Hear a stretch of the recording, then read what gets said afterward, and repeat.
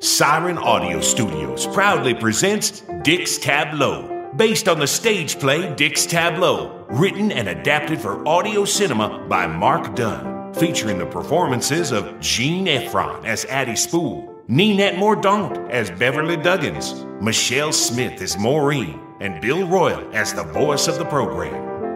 The story takes place largely in the city of Dix in the American South and spans the first decade of the 21st century.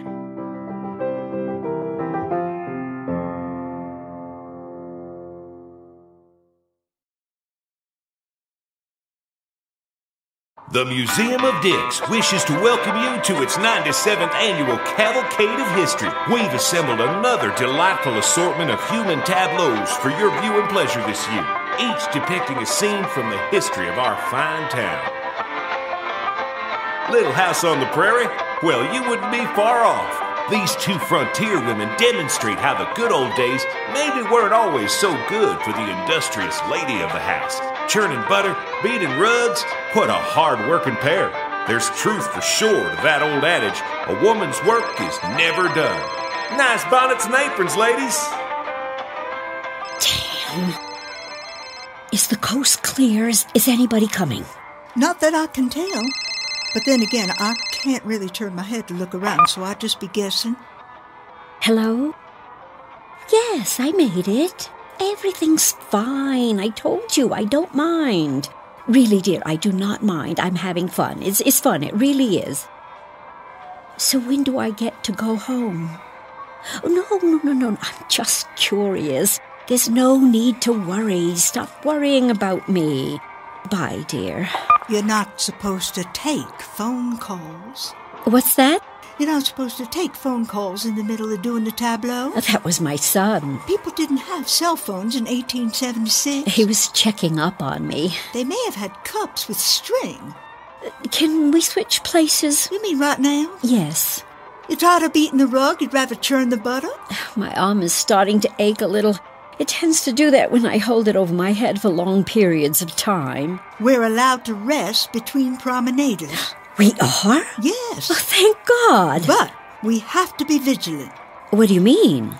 In case anybody comes. So, should we take turns being on the lookout? Oh, that sounds like a good plan. I'll go first.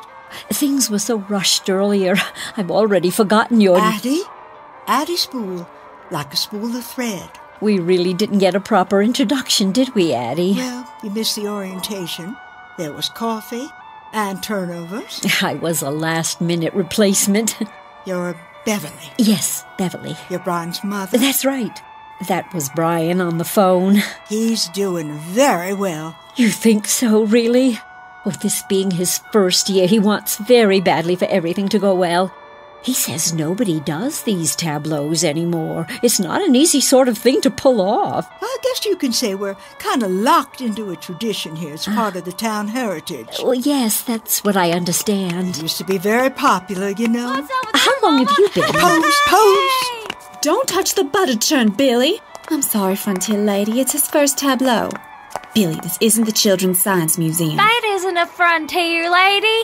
That's Miss Spool from the drugstore. Hello, Miss Spool. Hello. Don't pester Hello? the pharmacy lady, Billy. She's trying to be a statue. I don't know the other woman. I don't know. You're good, though. You're very good. Look, Roger. Look how still she is. She looks almost lifelike. Don't run, Billy. This is a museum. I guess he got tired of the frontier ladies.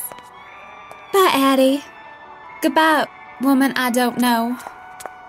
So, Beverly, you were asking how long. I- Incoming, incoming. In addition to hard field labor at the side of her husband, a frontier wife was expected to spend her remaining hours cooking and cleaning and tending the young'uns. The drudgery was seldom relieved in this era of few household conveniences. Today, these women would engage a babysitter and a housekeeper, then be off to a fitting or an afternoon with the girls. Afternoon with the. Who wrote this stuff? Hello, Addie. I know you can hear me. We hope you enjoyed this preview. To continue listening to this audiobook on Google Play Books, Use the link in the video description.